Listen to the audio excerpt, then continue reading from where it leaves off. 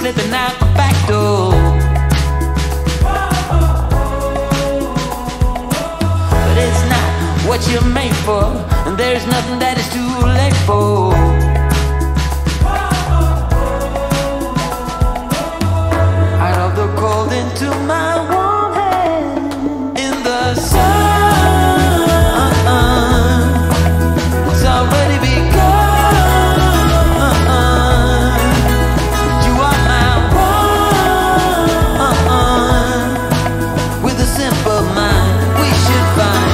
more time.